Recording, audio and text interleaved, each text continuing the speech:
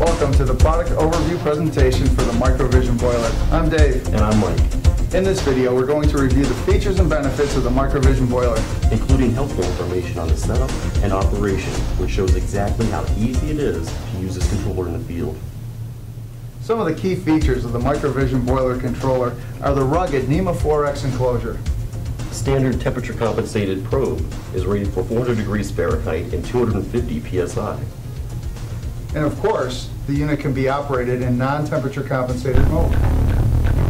The Microvision boiler has three sampling modes, continuous, timed, or sample and hold modes. The controller comes factory set in the time sample mode with preset set points and differentials. Blowdown control is accomplished with a powered relay that allows for either motorized ball valve or solenoid valve connection.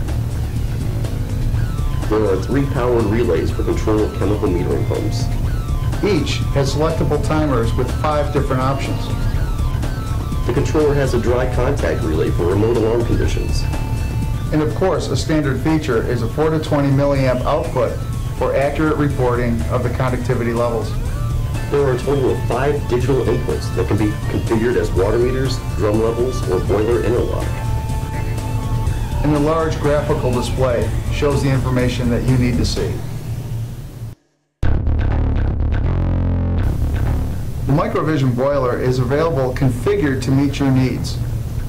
Both pre-wired and conduit units are available. The pre-wired unit includes a standard US power cord, and conduit units come pre-drilled with half-inch conduit connections.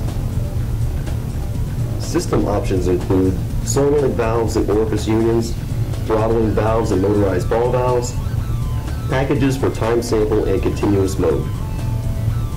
Of course, these are available pre-assembled from Pulsafeeder or as individual components, however you choose. Sensor options allow you to order the Microvision with or without the sensor. And the standard cable length of 10 feet is at no charge, with options up to 150 feet available. Proper installation of the enclosure and the probe are important to the quality operation of your system. For example, the controller should be mounted on a rigid surface away from the heat and vibration of the boiler. Keep in mind that you should allow enough room to fully open the enclosure's cover and open the access panel to allow for easier wiring. The proper installation of the probe is important to reduce steam flash.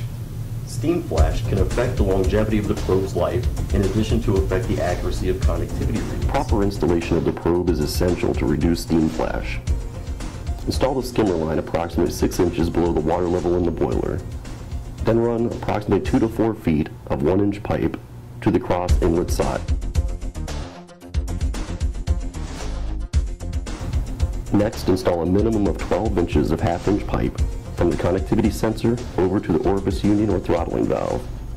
Then install another 12-inch piece of half-inch pipe over to the motorized ball valve. Maintaining these pipe diameters and distances will ensure optimum performance of your system.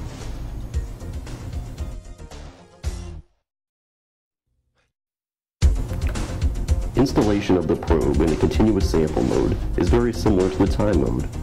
Run a 12-inch piece of 1-inch pipe before the sensor and a 12-inch piece of half-inch pipe after the sensor. When working with orifice unions, make sure the proper orifice plate is installed in the union.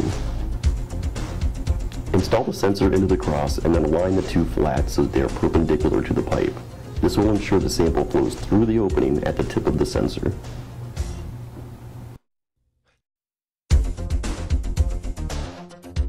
Inside the conduit box on the sensor, there is a terminal block that identifies the color code of the wiring.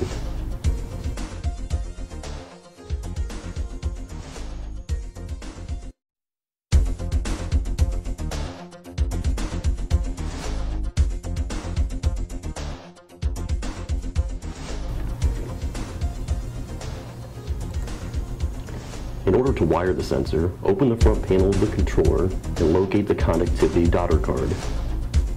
There's a connector located on the bottom of the circuit board, and there is also a label on the board to help you identify which colored wires go where.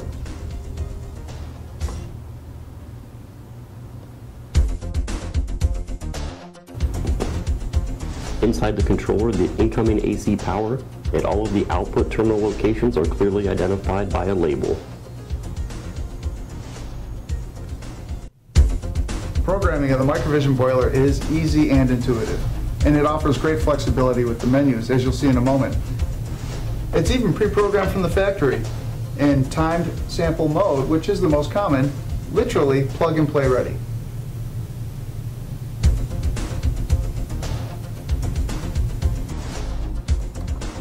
If you would like to change the default settings for the time sample mode, simply press the menu key from the main menu. Next, enter the settings menu. Then enter the blowdown menu. Enter sample mode. Here you can change the type of mode that the controller is operating in if you wish, or you can press select at time mode and it will give you the settings for the time sample mode.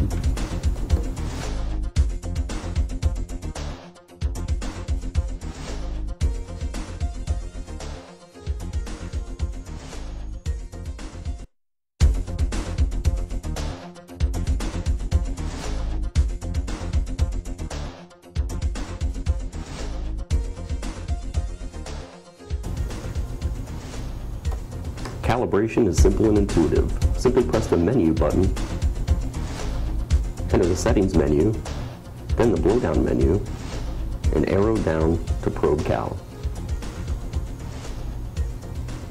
When you press select, the controller will prompt you to enter a value that you can obtain with your handheld tester.